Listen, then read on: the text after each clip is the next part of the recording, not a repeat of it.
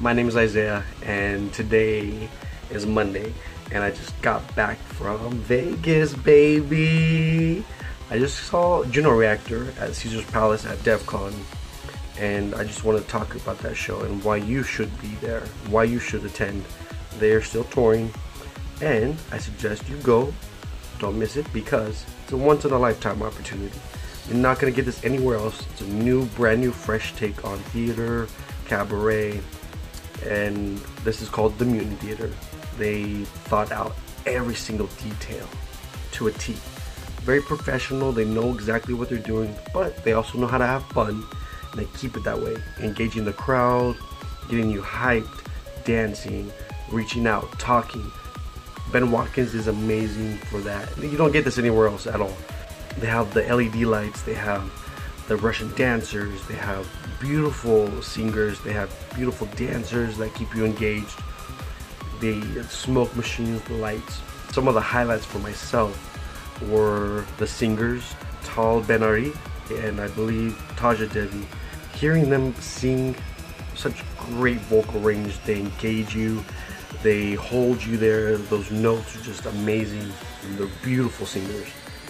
They have some material out there you can go see right now. Some other takeaways was were Amir and Budgie.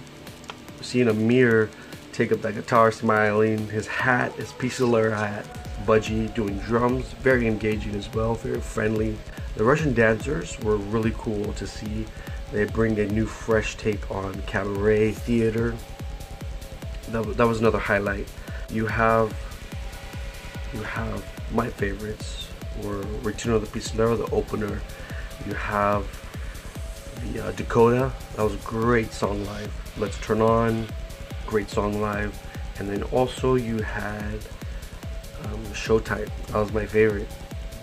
Oh, every moment of it. The They bring, it's a whole theater production, the Mutant Theater.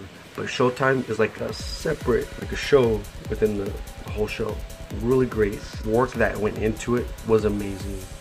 I got to firsthand see some of the background work that goes into the shows. All the promoters, all of the managers, the people that get this show going, man, amazing work that they do. And they, it's for the fans for sure.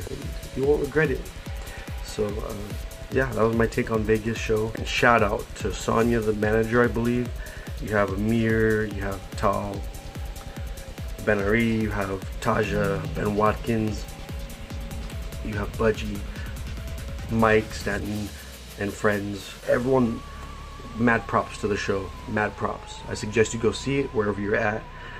Uh, they're still touring buy the album Mutant Theater. This is one dedicated fan. I love the show, and you will too because the Mutant Theater, Russian dancers. That's it.